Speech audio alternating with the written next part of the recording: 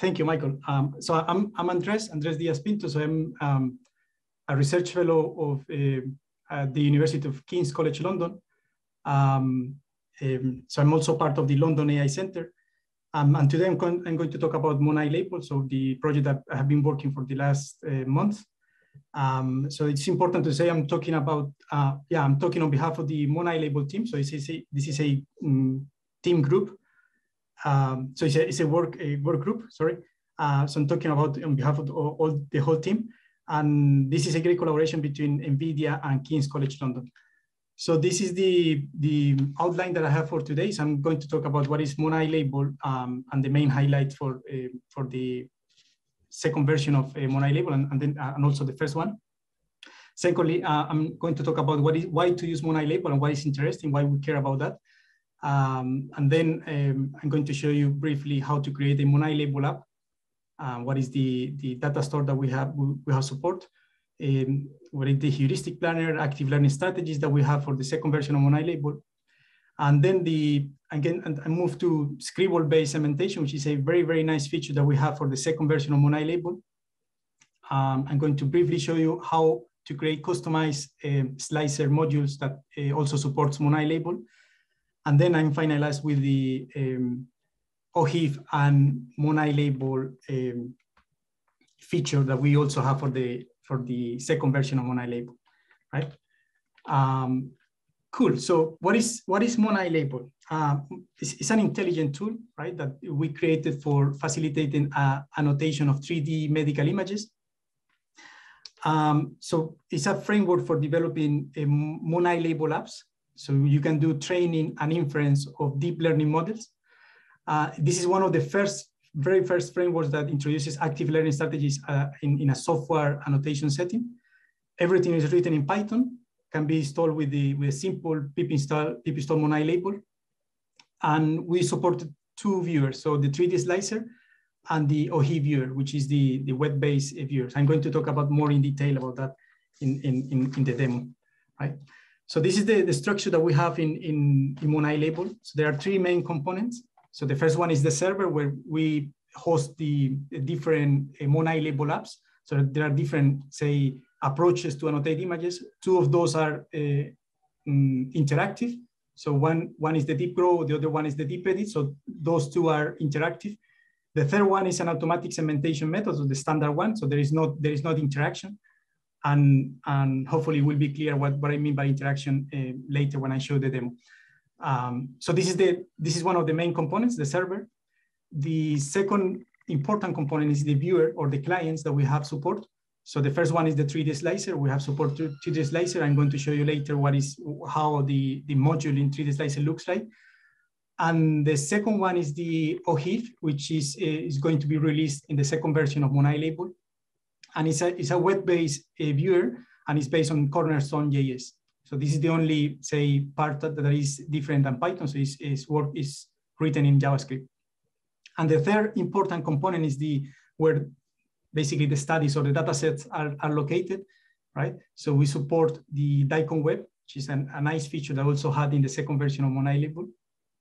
And the, say, if the researchers wants to use a Monai label in the local computers, so they can basically pinpoint to the, to the data set in in a folder in, a yeah in a folder that is located in the local computer, right? Um, so what else is I want to show you here? So this is a yeah it's a server client system. So we have the server and, and also the viewers. Um, users or researchers can also use the, the server only and make the REST API calls to the server instead of using the viewers, right?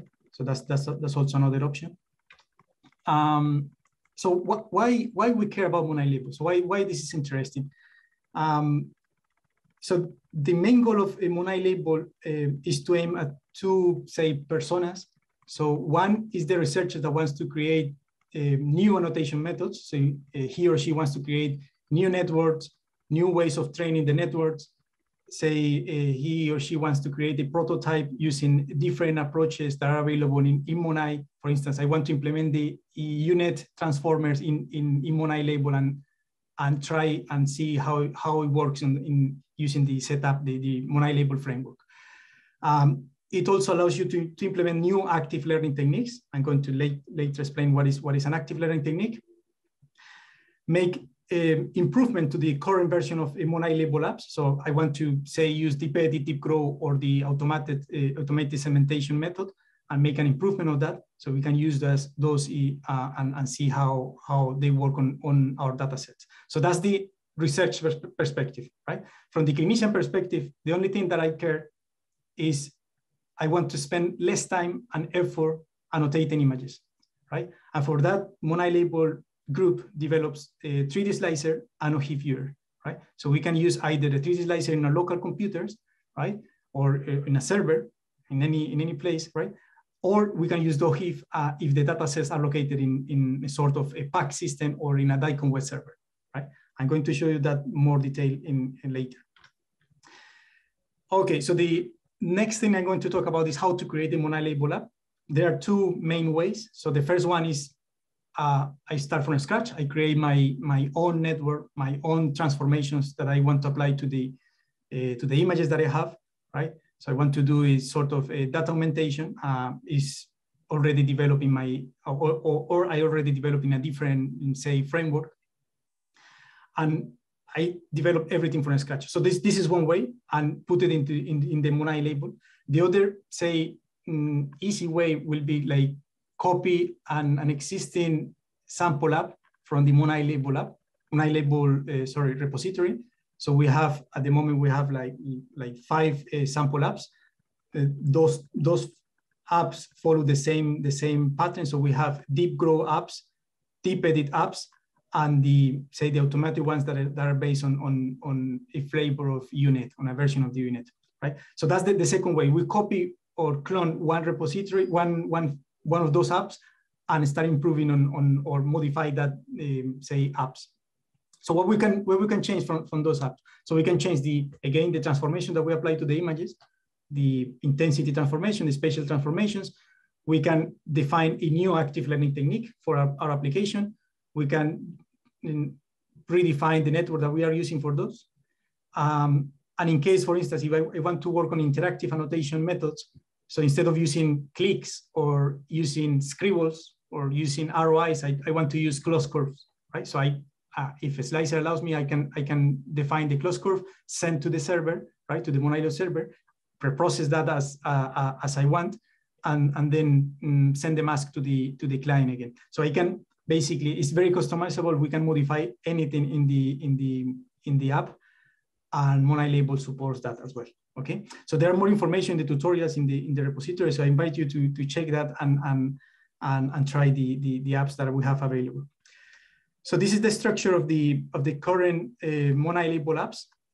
So we have two important things here. So one is the uh, main, main class that is inherited from the MonaiLabel app, right? In, in, in this case, let me see if, um, so I use the,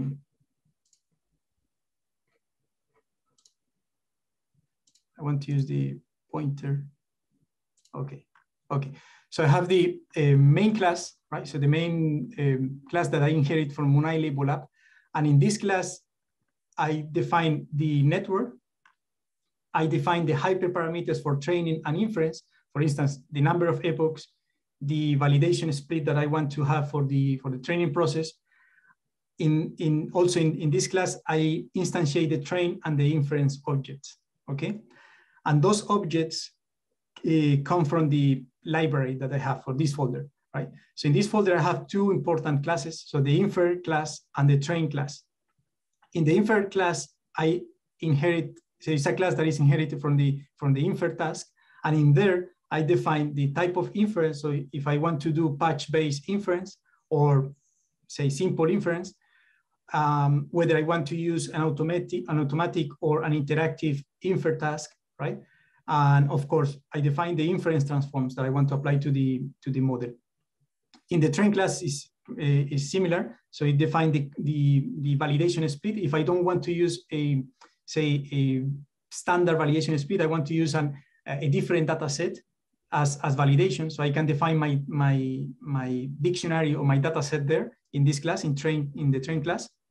I also define the training transformation, so the data augmentation that I want to apply to the to the images during training.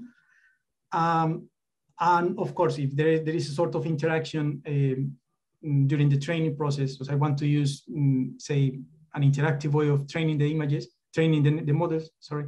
Um, so I define the interaction class there as well. And the handlers, of course, if, if I want to use TensorBoard or any sort of uh, handlers to visualize the images or to visualize the, the loss function or anything, so I, uh, there is there is a space for to, to define those there. Um, so the transforms and the active learning um, classes are empty here. So this is a space for the users to implement the, their, their own active learning techniques and their own transforms.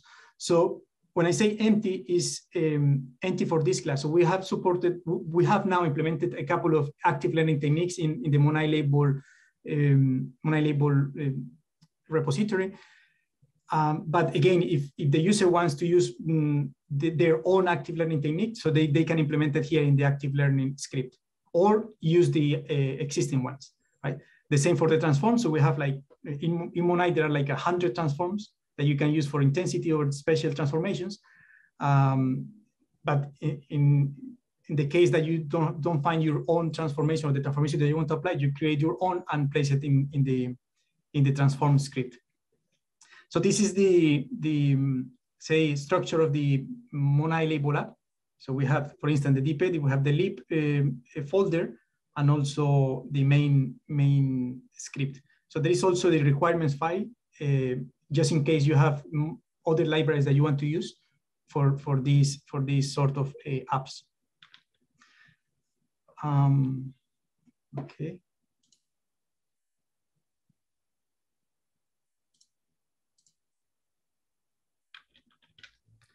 Okay, so we have, uh, this is strange, I don't want to, um,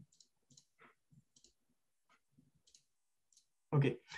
So this is, uh, okay, this is important. If I want to use, say, Monai label in our, in our, say, local machine, so there is a question, how, how I organize the data set.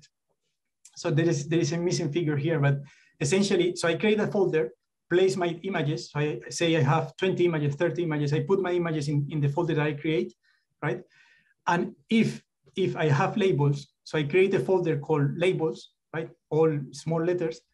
And inside that folder, I put a, another folder, which is final, and put my, my labels there, right? so I have um, um, a tree of folders where the root is where the images are located. If I have labels, there is a folder called labels. Inside label, there is final, and inside final, there is the, there are the, the um, labels that I have. In the case I don't have label, just put the, the images in, in the, the root folder, and that's it right? So that's the, the way I create my, my, my data store. So it's important to um, call the labels uh, with the same name that we have in the, in the images. So it, for instance, spleen2 is the name, the name of the images. Um, spleen2 will be this, the name of the label. So in that case, the Monai label will recognize that there is a label for, for that uh, image? Okay, this is this is a, a nice feature that we have now in the in the second version of Monai label, which is the heuristic planner. And these algorithms basically reads the spacing of the of all the training data set, all the trained images that we have, reads this the spatial size, the spatial size, all the spatial sizes, uh, checks the available GPU memory, and based on the distribution of the intensity distribution of all the images, the output of that algorithm is the are the hyperparameters to the training and, and inference transformers, right? So it defines the size of the images, defines the intensity transformation that I want to apply, right? And um, it performs also the sanity checks, just in case um, there are images that are broken or, or, or there are, say, multimodality images that shouldn't be there in the data set. So it will warn the user there are something wrong in the data set, right? So this is the heuristic planner. Um, with regard to the active learning strategies, so just just to clarify, we are in the same in the same um, uh, page. An active learning is, is, is a is sort of a semi-supervised machine learning approach that uh, basically choose images, right, that are the most harder one or the difficult ones, so the user can um, say, say segment to later train, right? So let me let me explain better this. So we have say we have a bunch of unlabeled images, right? And we want to build a training um, a training pool of training set of images, right? So initially we select randomly an image and let's say I'm a clinician, so I select randomly an image, annotate the image, right? So now I have a one image and one label. So I start the training process, right? And when I have a pre-trained model, so I can ask the active learning strategy, say ask, or the active learning strategy will send me the most uncertain image or the images that are harder to the model to segment, right? So we rank the images as the most difficult, as the less difficult, and then send to the oracle, send to the expert to annotate the image. So in that case, we, we train, we create a training pool that is um, better for the model to train or faster for the model to train, right? Um, there is another thing, another nice thing about the Monai label, which is the, the Scribble-based uh, uh, segmentation tool. Um, just, just uh, I mean, Scribble is, an, is a, is a free, freehand line drawings. So it's a, just a, a, mm, a line that we draw mm, with the, yeah, with the tools that we have in the viewer, right? And based on those, on those scribbles, on those uh, lines that we create, uh, we can segment an image, right? Uh, very quickly. Um, so we can use those um, segmentations to train the model in the background. So I'm going to show you very, very, very quickly in the demo that I'm, I'm, I'm going to present uh, after this presentation. Uh, but yeah, so now Monai Label supports Scribbles-based segmentation there are there are different base there are different say algorithms for for scribble segmentation i'm going to show you the, the, the simple one that we can use for for cold start right um okay so this is this is also interesting in this in the case that we don't have we don't find um, say the interaction or the uh, feature that um, that we are finding in monai label so we can, we also have the, the freedom, I mean, the flexibility of uh, creating um, customized uh, slicer modules. So in this case, um, for the second version of Monai Label, we create the Scribbles uh, base annotation tool? And you can interact with the, with the slicer to annotate the images, right? But the, say I want to use, instead of Scribbles, I want to use um, close curves, or I want to use any points in, in a different way, or, or ROIs or anything, right, that is available in Slicer, but is not available in the, in the user interface created by Monai Label. So I can customize that. I can easily modify it and, and, and customize it to my application. Um, this is just a, a print screen showing that the that uh, how OHIF is working in Monai Label. I'm going to show how how we can use Monai Label and OHIF uh, using the DICOM web uh, uh server. Um, and yeah, so this is this is the, the, the thing that we have now. So for the for the short demo, I, I think we have still have time, right? At, least 10 minutes. Yes, a bit. Okay, so for the for the demo, I'm going to show you three scenarios. So let's say I only have a, a bunch of images with no labels. I don't have any labels, right? So I can use Monai label to start the annotation process. So I start the app, uh, use the segmentation based on scribbles, and start the, the, the, training process in the background, right? I can do that. So that, that will be the, the first scenario. So I create easily creation of a, a masks based on scribbles and use those masks to train my, my, my model, the model that I, I have in, in my app. So the scenario two is I have a pre-trained model. So after providing three, four, five labels using the scribbles, or because my data set already contains different labels, so I can use those labels to train the DeepEdit app or any app that I want in the in Monai label. Um, so the thing is the scenario two, I have a P3 model. So I, am going to show you how you can use the DeepEdit to interactively modify the, the masks, perform inference using Monai label, and how we can use the active, one of the active learning strategies available in Monai label. And the third scenario is to use basically OHIF and the DICOM web server to uh, interact with the DICOM web server, uh, segment the images using a pre-trained model. And, and for that, I'm going to use Orthanc as the DICOM web server, okay? So before I conclude, so let me go to the, um, so I'm going to show the scenario one, right? In the, in the case that I don't have any labels. So I start my, my um, so before, let me, let me let me explain what I'm doing here. So here I'm specifying that I'm using the deep edit app, right? So I'm using the one of the sample apps that are available in MonaiLabel. So it's deep edit. And I'm specifying the data set that I have in, in my computer, right? So I'm saying, and so minus A is for the for application and minus S is for study, okay, studies. So I start the app by specifying the app that I want to use and the images that I'm, I'm using.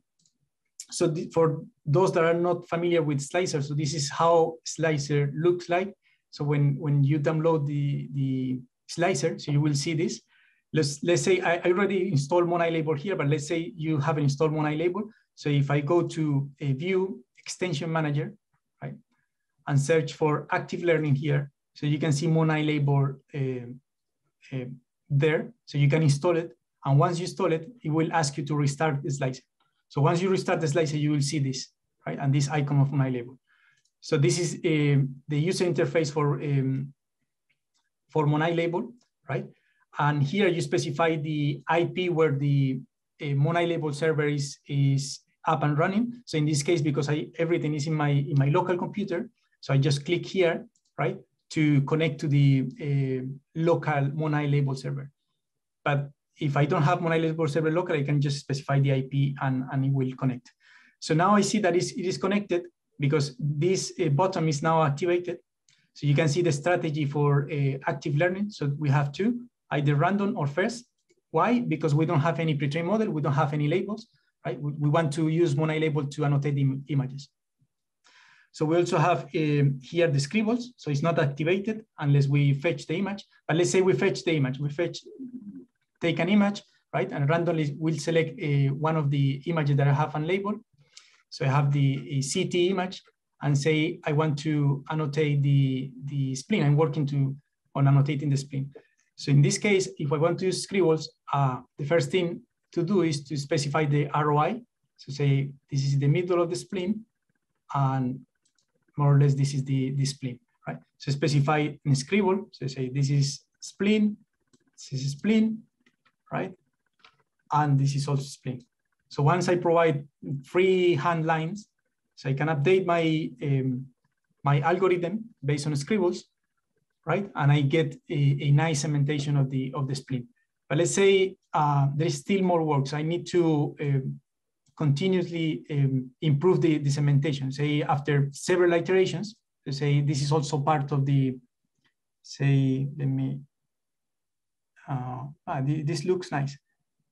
But yeah, let's say uh, after several iterations of using scribbles, I'm very happy with the, with the mask. So I submit the label. And once I submit the label, right, in the background, the training process will start. So in this case, I have only one mask, right? One, uh, I have more images, but I only have one label that I just provide to the server.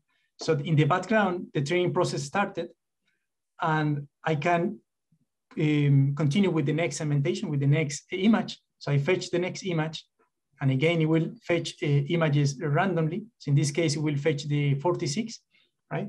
Um, say I want to annotate again the, the spleen very quickly. So I provide the, the ROI so let me search the image here.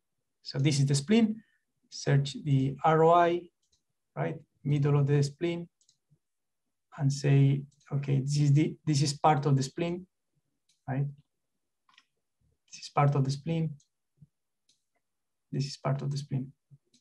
So I update the um, um, my scribble algorithm and say, okay, this is this needs more work. So I expand the this is the part also the of the of the spleen. But let me first increase the ROI, right? So I update the model, I update the uh, scribble um, algorithm, right? It, will, it took more more uh, more than than say this is part of the background? Uh, this is not part of the uh, of the spleen. So say after a couple of iterations, I'm, I'm happy with the, with the mask generated by the scribbles. So again, I submit the label. And what will happen is when I submit the second label, the training process that was happening in the background will stop and restart with two images now, right? So I have two images and two labels. okay? So this is set to train for 50 epochs, but of course we can change that? So we can change in the configuration of the of, of, of our app, we can change the number of epochs, we can change the, the split for, for validation, we can change all the hyperparameters during the training process. By default is 50. So this is the first scenario. We are creating labels. So you can see um, if I go to demo scenario uh, one, so I create uh, two masks, right, for the spleen 9 and the spleen 46, okay? So this is for, for scenario one. Let's say the clinician um, um, already spent some time annotating five, six, seven images, and she or he gets tired and, and, and went to have a coffee or have dinner and leave the training process there after having six, uh, seven images annotated. Uh, so he or she come back and, and continue the work. So let's say I'm going to the to the scenario two, right? I'm going to stop this um, Monai label app and use the scenario two. So this is scenario two. In this case, I have, uh, in the scenario two, I have six labels, right? Because I already spent some time annotating images and I have in the final, I have, yeah, six labels because I already provide that and, and also a pre-trained model, right? So in this case, I'm going to connect to the, to the um, uh, server again, and I can see the number of images that I have annotated. So, so I have six images annotated out of 32 images that I have in my data set. So in this case, I am going to fetch the sample, right? Again, I'm using the random strategy and because I have a pre-trained model, this button is activated now. So I can run the inference, right? To see how the model is performing. So say uh, it will take some minutes. In the background, it was, is performing the pre-transforms. So the transformations that are applied before uh, feeding the image into the network, right? And then the post-transform, which is the, the reinverting the um, transformation that I applied in the beginning. And then I, I, I got the a, a, nice segmentation of the spleen after training the model for a couple of hours with six to 10 to 10 samples. So let's say uh, this is um, this is not perfect. This is not 100% good. So uh, either I can use manual tools that are available in, in, in, in Slicer, or I can use my deep edit model, which allows me to provide clicks and say, so this is part of the background. This is not part of the of the foreground. So I apply the, I provide a click to the model and it will remove, ideally, it will remove mm, the, the bit that is part of the background. So you see, um, so every time that I provide a background click, the, the mask change, right? And maybe this is not perfect, so it needs more training, right? So in that way, I can modify the mask. And once I'm happy with the mask, right, I can submit the label, right? And when I submit the label, the thing that I'm doing is I'm happy with the mask. Please fine tune the model, right? And in this case, instead of uh, five, he, use, he uses six and one for validation, right? So that's, that's, that's the, say, the deep edit uh, power here working. But now let's say I want to use an active learning strategy. So let's say uh, I want to use the epistemic uncertainty as, a, as an active learning strategy. So I can use, I can modify the, the flag here. So instead of using uh, so instead of false, I, I, am going to say I, I, want to use the epistemic um, uncertainty to sort the unlabeled images. So instead of randomly selecting images, the model, the active learning strategy will select the harder ones. So the clinician can segment those and create more impact on the training process of the model. Right. So let me start the app. Oh, sorry, this is scenario two. So this is the one that I need to modify. so this is epistemic. So I modify here too save the model, restart.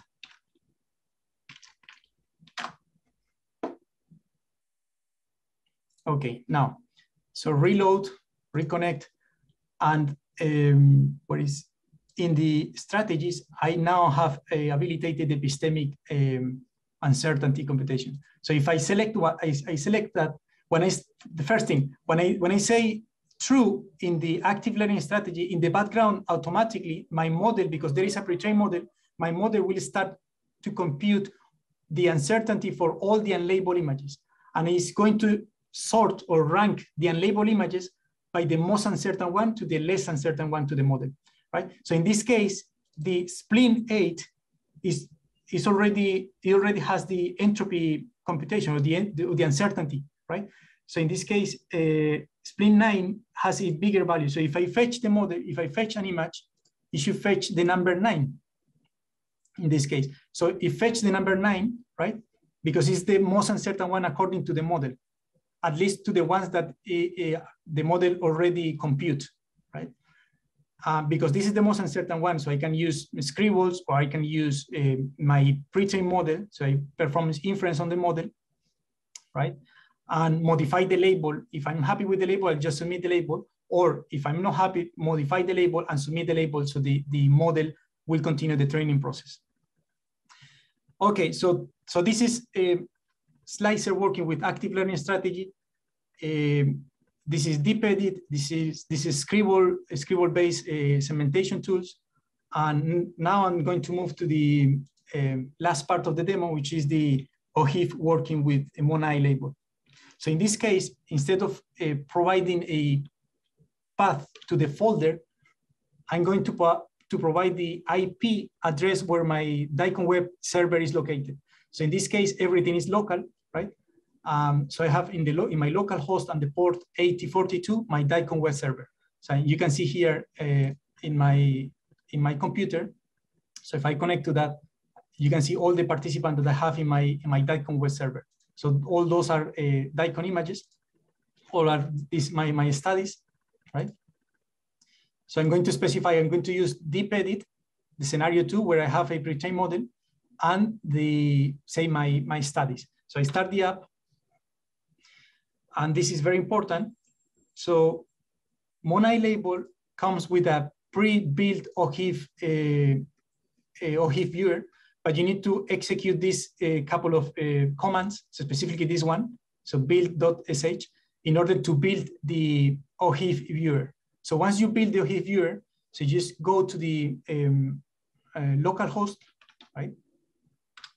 So in the local host, you can see the different REST APIs that uh, we have available in the MONAI label server. So for this, we use Fast API.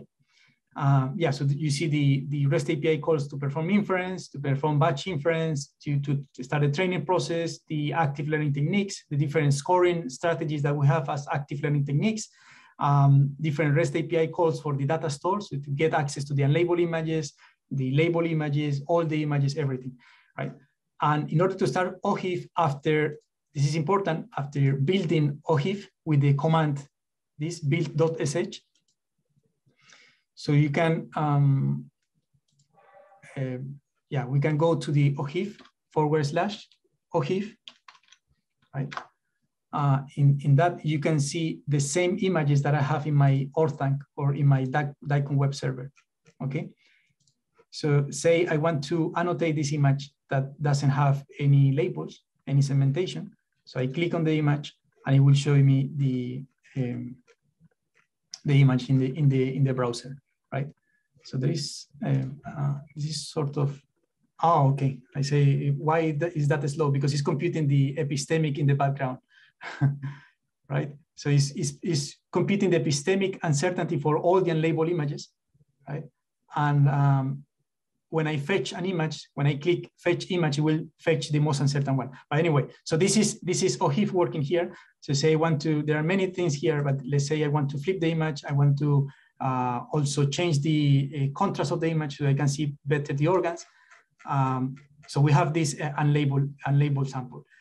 Here on the top right, you can see MONAI label, right? So I start MONAI label, I connect OHIF to the MONAI label. So you can see that I'm using DeepEdit, right? And say I want to segment this spleen. So I run the segmentation, uh, running the auto segmentation. And the, in this case, this is running the epistemic and also the inference of the image. So now that we uh, perform inference, you can see the segmentation here of the uh, of the spleen. But let's say this is not this is not good. This is not this is part of the background. So I activate my smart editing so I can provide clicks. So when I click, it means foreground, but when I hold control, click, this is part of the background. And because this is part of the background, I'm going to a click here. So it performs inference there. So it's performing inference using the click that I provided, right? And it will remove that bit, okay? so let's say I want to fetch the next image. So the next sample, it will use the, the sort of um, the sorting that I did, right? With the epistemic uncertainty. And, and according to this, the number 13 is the most uncertain one. So again, uh, I connect to the MONAI label, uh, run the inference, right? So we perform inference on this image. And it should get the spleen segmentation here. So now because the, the model is, is well trained, you, you know, you got very, very good segmentations. But uh, yeah, let's flip this and see better here. So this is also part of the background. Uh, yeah, I need to activate the smart editing, right? Um, yeah, so it will modify the mask according to the to the points that I'm providing. Um, okay, so this is uh, this is my presentation. So just to conclude, um, is everything is open source. So please go there and, and check the, the, the, all the features that we have available. Scribbles, deep, learn, uh, deep edit, uh, everything that is in Monai can be used there, in Monai label, of course. So we have a, a Monai label, which is an open source project that facilitates annotation of 3D medical images. Um, Monai label is one of the very first frameworks that introduces active learning strategies in a software annotation setting right? So at the moment we have two strategies and, and we'll, we will add more strategies as, as we um, improve this, this repository, this project. So uh, future work will be a multimodality support. So at the moment we only support a single modality. And the idea is also to host, so the server can host multiple apps, not only one app. So in the beginning, you need to specify the app, but the idea is to host more, multiple apps in the server and, and of course, uh, leverage uh, the information that we can get from the unlabeled data. So the idea is to also include self-supervised learning and unsupervised learning algorithms in Monai label. Uh, I think this is pretty much, Michael. Um, yeah. Thank you. Thanks, Andres. Uh, there are, I know we're slightly over time because we were behind kind of in general, but I want to at least get you a few questions. There was a lot of questions that came in. Um, some of them you did answer because I think you mentioned multi-modality that's coming up. Um, what about mm-hmm. multi-user? Uh, so some people asked, uh, in my case, many clients are connecting to the same server. How to split the data evenly? How do they measure and version the consensus if two users annotate the same volume? So just generally multi-user support, if you want to talk about that. Yeah, so th this is something that we are we are uh, considering at the moment. There is not there is no support for multi multi user. Um, but again, this is this is uh, something that we need to discuss as, as a group, as a community. So if that's something that is, is mm, pressing or is needed, um, we will, we will work, work on that and in the next uh, releases. But yeah, at the moment there is not there is no support for multi multi users uh, because we need to to deal with every I mean uh, all the things that you mentioned. So the the if there is annotations, multiple annotation for a single image, we need to organize how we uh, say keep the record of all the annotations for, for the same image, how we keep information of the users, if there are sort of a, a, a say how, how is uh, authentication of the users, right? So there is there is not so the, the idea is to organize the users and also the the the labels that the user are providing. So it's a bit it's a bit of a it's not trivial, uh, but it's something that we are considering. And if if the community says that this, um, we as a community say that this is important, we will work on that indeed. Yeah, makes sense. I know one question that came up was what version of Slicer do you need? There is a preview release version of Slicer that you need to use to get the extension and the extension working. I know we've had a few people have issues when they go through because that's sort of a regular build cadence for that preview release. So sometimes there's issues with it. If you have issues with it, go through and try to download either a previous version or if you wait a day or two, um, it might fix it. But we had someone where their, their extension uh, they couldn't even find the extension even in the preview release. So just know that about yes. 3D Slicer if you are using Slicer. Um, okay, a few other ones. Someone asked, does this come with a Python uh, interface if we wanted to integrate this into their own Python-based viewer? Yes, yes, of course. The only the only thing that I need to do is uh, again. So let me let me briefly show that. So you can. So let's say I'm, I'm using the uh, Monai label server um, locally. So I'm using the, uh, um, my, the, I'm using a folder where the images are located. So I'm, I'm not using the DICOM web, but just for simplicity, you can use both, right? So once you start the label, the Monai label server, you can see the different calls here. you can see the different calls. So you can use the Python, your Python viewer and make the REST API calls, right? You can use the library request or the any library that, that make the calls to the Monai label server. So there is not an issue with that. So for instance, if I say I, I want to start the training process here, so I basically start the, um, try it out, right? And execute. So this means I, uh, the, in the background, I will start the training process, right? So that's the only thing that you need to do, right? So make the, the REST API call, either using 3D Slicer, OHIF, or any viewer that you support, any viewer that you have in, in Python, C++, anything, right? So it's pretty flexible in, in, that, in that bit. Okay, yeah, great. Um, so we'll do one more question. So this is kind of a, combination of a few different ones. People were asking about sort of active learning. How does it know which images are harder? Are there sort of certain models or, or um, algorithms that are implemented there and available to use in the background for active learning? Could you just briefly talk a little bit more about that again? Yeah, so th this is a very, very good question. So in fact, it, it, that question, I mean, it's, it's an open question. How do you sort the images as the most difficult one and the less difficult one?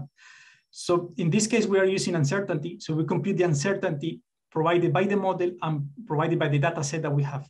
So there are two, like the epistemic uncertainty and the aleatoric uncertainty, right? So we are using those um, methods to compute uncertainty, and based on the uncertainty, we sort the we sort the images, we rank the images. So that's the strategy that we're using. And again, uh, this is a platform that allows you to integrate more, more active learning strategies. So we are not saying that this is the, the only ones that we are implementing or the, or the best one to, to use for segmentation, right? You can use any, any sort of a ranking system or active learning strategy for the user to use. Um, yeah, so it's an open problem, how you rank the most difficult ones. Yeah. In this case, we're using uncertainty, basically. Okay, great. Um, so I did see some questions come in on Zoom only, I think. So if you asked it in Zoom, please go over and ask it in Discord. It's a lot easier to kind of thread off of your questions in there and to get things answered. But I think there's probably at least five to 10 more questions, Andres, over in Discord. um, lots of interest over there. So I encourage the conversation to continue over there. And Andres, great presentation. Thank you again. Thank you, Michael. Thank you. Yeah.